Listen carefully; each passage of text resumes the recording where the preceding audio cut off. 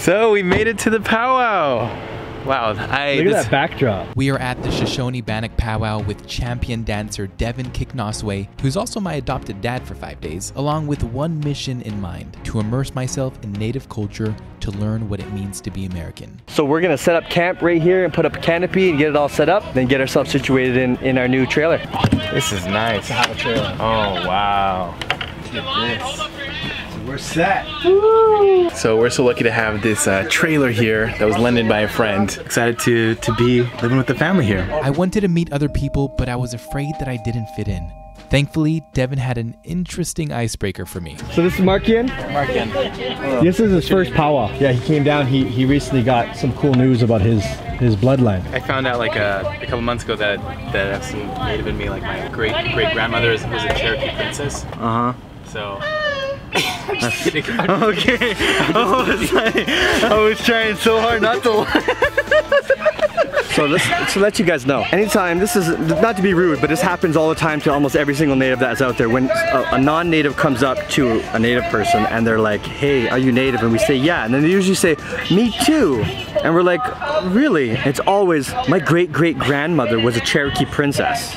So now Devan wants me to respond to people like that when they ask me where I'm from and, and get their reaction. In my head, I was like, "Please don't say Cherokee princess." See what I mean? I told you, we totally planned all of it. All right, so we're approaching the powwow right now. This is just the day before, so it's kids powwow.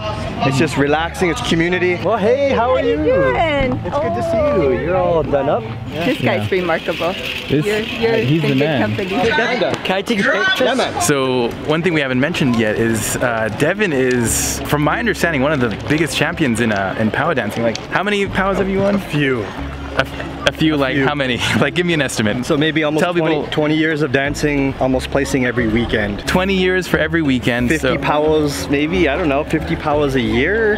Wait, that's a thousand. Let's say a couple hundred. But you've won a thousand powwows. I don't know. I've done good, but I've worked really hard.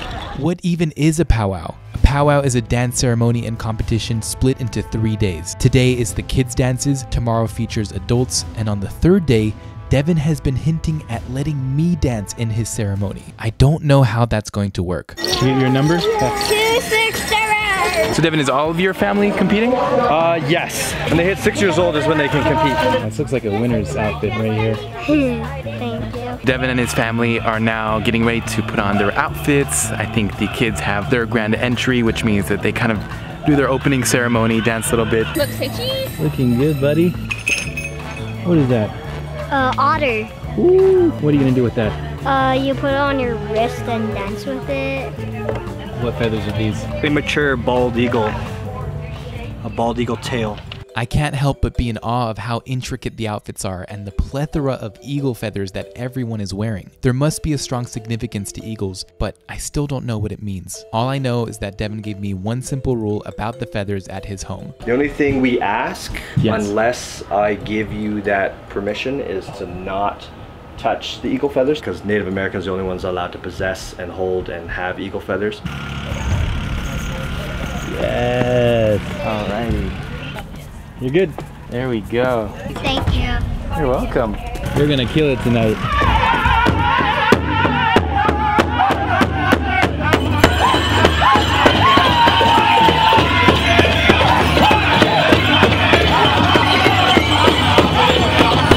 So we're just watching Destin uh, dance in the juniors opening ceremony. This is this is so magical. The sunset is at golden hour right now. Still so many questions about the music, the dance, the outfits. I think I'm gonna save them until tomorrow. It's just so much to take in right now. I realized powwows are more than just dance competitions. They're like festivals with food trucks that we are about to explore. He's been recruited for Bannock Burger. Top-notch burgers, top-notch fry bread, best fry bread in the world by the man himself. He said, why don't see if he can make an Indian taco? Let's go do It's it. It's all very new to me. You tell him what to do, boss him around. I'm gonna learn about some uh, local foods here. We're going behind the scenes. Thank you very much. Have that around you there. Wash the hands. I wasn't expecting this. Hey, this here is dough that we have already rolled out. All you have to do is push it down like that, push it in, get on this side over here, put your hand over here, catch it. There you go. Yep. Now spread it out. This grease is really hot, so when you put it in there, you kind of hold it up and just let it flow. Bread is called fried bread all we got from the government was flour, baking powder, and different things. So this was one of our staples. Okay, there's your fry bread, and you put some meat on it. How's that? No, don't be cheap. We're not starving. Look at our bellies. Tomatoes and onions. Now you've made a Bannock burger. That's yours. Yeah, now you gotta eat it all. That's a lot. It's like a pizza right here. There we go.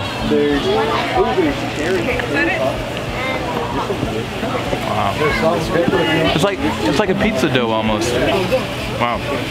That's really unique. I really appreciate uh, you sharing this experience with me. Well, tomorrow's experience will be better. Yeah, there you go.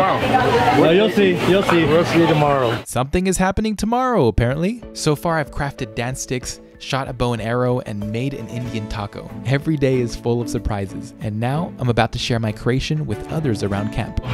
So he's offering anyone. Oh, you want you want an want Indian taco? Good oh. job. It looks you beautiful. Want, is that your son? Yeah, just my son. Yeah. Oh, I was gonna holy. Yeah, yeah. He just came out weird. Yeah. He, he recently found something out, which was pretty interesting. Oh boy, that's my cue. Uh, well, I took like a little test and I found out that uh, my great great grandmother was a Cherokee princess. Oh, I'm just kidding. We're just kidding. I set that one up. I would was gonna say something, then I thought I better not be rude, because then my daughter will get after me. She'll say, Mom, do you have to say that to them? Very straight face. convincing. I was like, oh, Oh. how are you enjoying it so far? I'm learning so much. I've done videos with different cultures around the U.S. and like I kind of know some of them. This one feels like a totally distant culture to anything that I've ever experienced before. Really? Yeah. If you're new to my channel, this is episode 10 of an epic series living with 10 families around the US to learn what it means to be American. I've lived with a Cuban American family, Black American, Italian American, but this finale is by far the biggest culture shock. And I was telling Devan, I feel like my first impressions, it's uh, people have been so much more welcoming than I expected. I thought I'd be a little bit more on edge, but everyone's been so kind and friendly and That's how we roll. We're trying to figure out how to lift this. this is proof in case it breaks. In case it uh, breaks, this is this what is- happened. I'm sleeping in the trailer with Devan, his wife, and three kids. This really is an immersive family experience, and we need to make some bed space for the kids. Three, two, one. Uh, oh, it moved! We did it! We got it! Yeah. We did it. We did it. Accomplishment of the day. All right, it's time for bed. Good night, everyone. morning. It's about 6.30. He's got to get up because we got to go scrape hides. Hey, you got work to do. We're two hours behind schedule. What schedule? Good morning. Devan uh, woke me up at 7:30 a.m. We got our clothes from yesterday because apparently it's gonna be really stinky. Yeah, now you're going to know why. Let's go. Let's do it.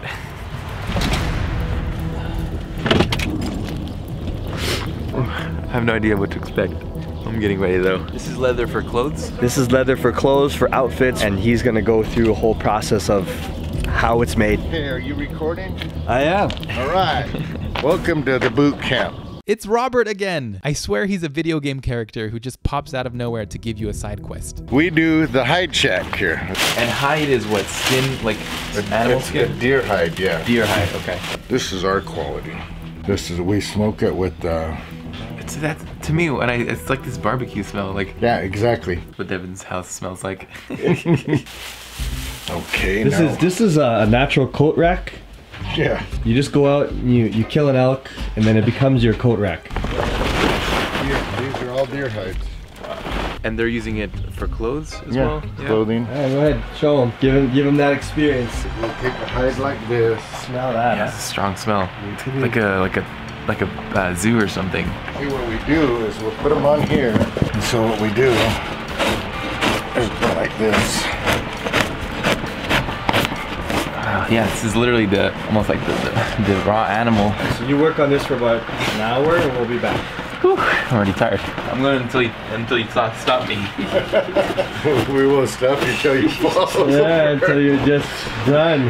Okay, let's flip it over. That's that's how we clean the inside. How your shoulders feel? Yeah, doing that for a long time, that's that's hard work. And these are sheep shears. Deer hides are used to make many daily objects like clothes, bags, and accessories. Okay, now let's go to the other part of the business. We grow hemp. Of course, the guy who makes Bannock burgers and sells deer hide also grows cannabis to feed chickens. They know you're coming. Okay, grab some of this. This is this is hemp. That um, Is this chickens eating weed, or is it more than that? these are hemp-fed chickens. Does it make the, the chickens high or something? It relaxes them. Now it's time to start hunting. So what, are, what are we looking for? Looking for eggs. It is like Easter egg hunting.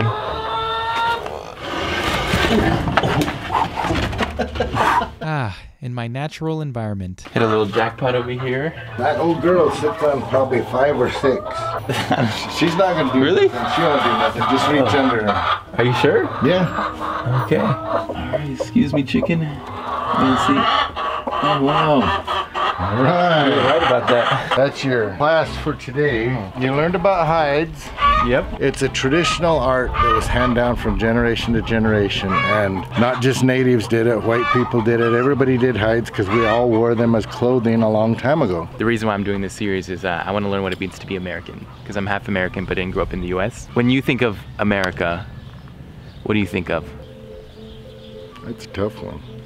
You know, you can look back historically. First Native Americans were here. Columbus came in and thought he landed on, in India and he called us Indians, you know. My family was sent off to the boarding school to beat the native out of the native, you know, to take away our language, to take away our tradition and culture and everything.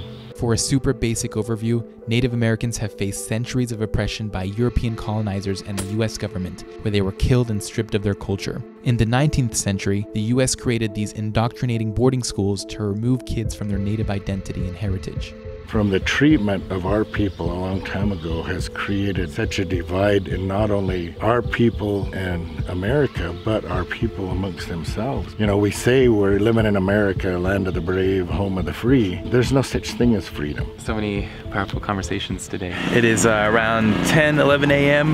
This is the first official day of the powwow. The opening grand ceremony is at 7 p.m. tonight. Before we prepare for tonight's performances, I wanted to get a deeper insight on the culture through the local shop owners. So we're just walking around the camp right now. Got the arena over there. Give, I'm giving him all the all the do's and don'ts of how to shop at powwows. To see like the real stuff that like the cookums and people are making. Cookums is grandma, by the way. Are any of these designs uh, not appropriate for non-natives to wear? It's for everybody. We're considered one big powwow family. If I asked you like, what does it mean to be native? What would you say? Connecting with everybody through the earth, through creativity, especially at the powwows, everybody coming together, you know, we're not just this tribe, this tribe, we're native, you know. What does this mean?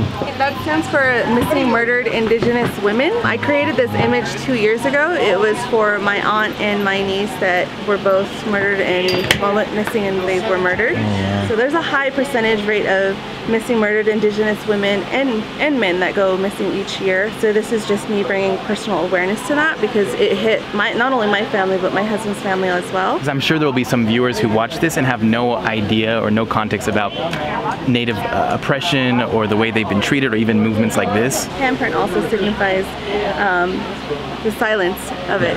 You know, there's nothing that is being done about it, and if there is, it's very, very little that you'll hear about what goes on.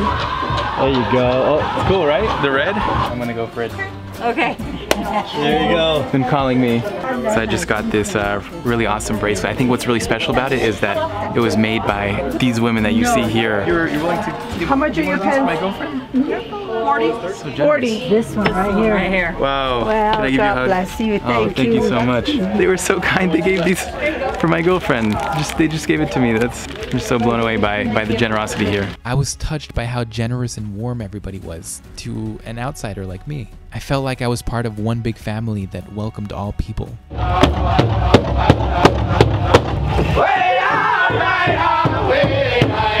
So every powwow that you go to, you got to register, and then they give you uh, a number. That number is what you're going to use to collect points throughout the whole weekend. This is it, the winning number. I don't know, The winning number. but I could try. We'll see at the end of it if they call this number. Yep. The end of the video will be me running up. So right now it's about 2 p.m.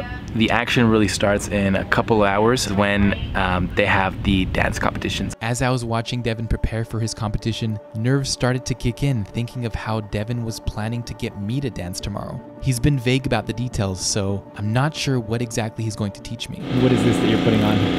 This would be my, my otter, otter hair ties. And as a warrior, if you hunt, you wear your kills to represent what you have, who you are, what you're capable of doing. I'm just watching Devan put on his uh, powwow dancing outfit and it's so crazy and interesting how every piece of clothing and accessory has a meaning behind it.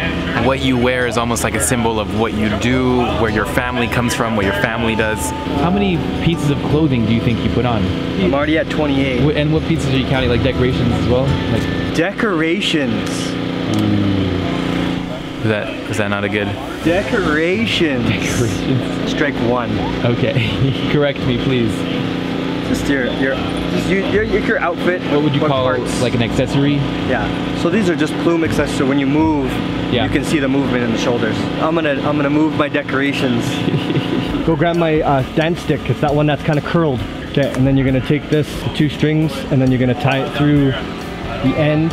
This is a really privileged position to be in because Devan taught me that non-natives, you know, don't touch feathers unless you know, you're given permission to. So Devan put in his trust in me a little bit. You want it like this, and then make a knot. Just a knot. Yeah. How do you make a knot again? Just like a shoelace, one loop. No, no, no, not a, not a bow, a knot. Like this, right? You didn't know how to tie a knot. That's like the easiest thing in the whole entire world. I know. Wow. This is This is all porcupine hair. You only get about this much of the long hair per porcupine. Oh, so this is a lot of porcupines. There's a lot of porcupines. To me, this is one of the big ones. Like I've never had a roach this big. So The sun is setting. The grand entry is about to start. Devan's getting ready. This is when the real powwow starts. Oh my gosh, I love the news. Uh, Devan, I, want I was going to ask you, how much do you think your outfit would cost?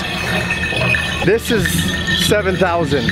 That alone is 7,000? Yeah. You got all the other accessories. So I don't know. Sometimes fifteen to twenty thousand. Fifteen to twenty thousand. Yeah. Yeah. Designer brands got nothing on this. Yep. Gucci what? Nope. $20,000 outfits made up of pieces gathered by family possessions and community trade. I don't think you're gonna find an eagle feather fan in Target. Is that, where are you from? I'm from Cedar City, Utah. What's what's your native background? Uh, I'm Southern Paiute, uh, Gla- Oglala, Lakota, and Navajo. What's one thing that you would want non-natives to know about natives? Um, we are still around, we still exist, and we're powwowing every weekend. Right here, look at us. We're all here. Yeah. As I was mingling with people, I was pulled into our neighbor's tent to receive a special gift. What's this? I can give this to you.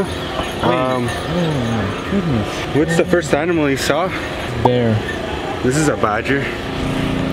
Never mind. Badger. Sorry. Okay. from where we come from, um, whatever animal you saw first is that that's your spirit animal. And so I want to give this to you. This is one of our sacred posts. Misinski.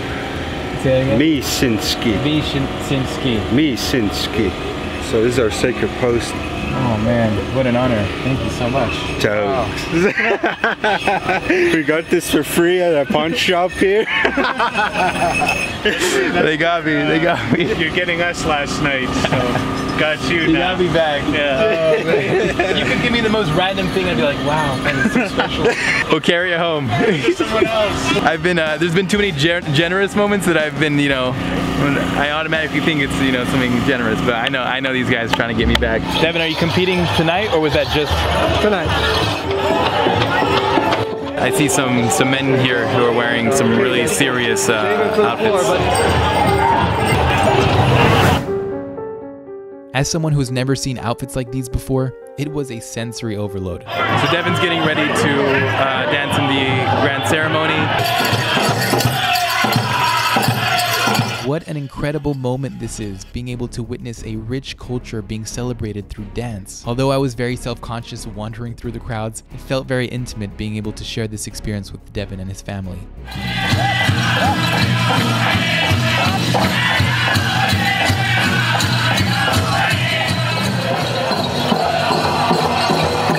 The things that I'm most impressed by are the feathers. People wear a lot of them. This is it. Devan's out there. He's competing. Looks like there's only two other dancers. It feels like it's the real deal here. All right, here we go. Take it away, folks.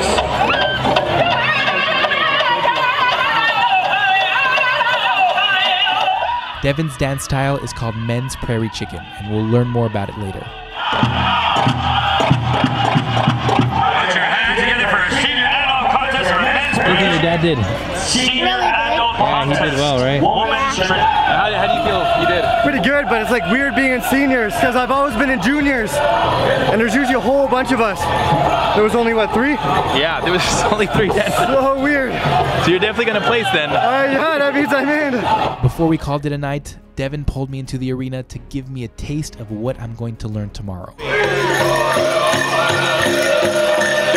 out of place, but this is so special. Oh,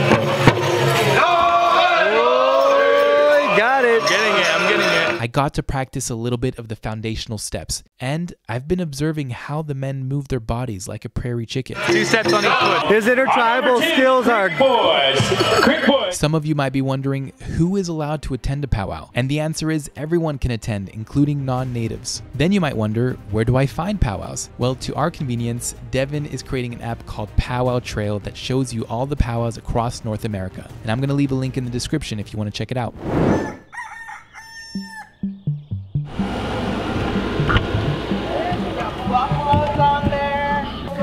Good morning, everyone. Today's the day that I will be competing, and I am excited. Today is the final day, and my biggest challenge awaits me. Everything I've learned through Devan in the last four days will be put to the test, and I'm really hoping I can honor this beautiful culture in the best way possible. How is it all going to go down? I still have no idea, and I'm waiting to be taught how to dance.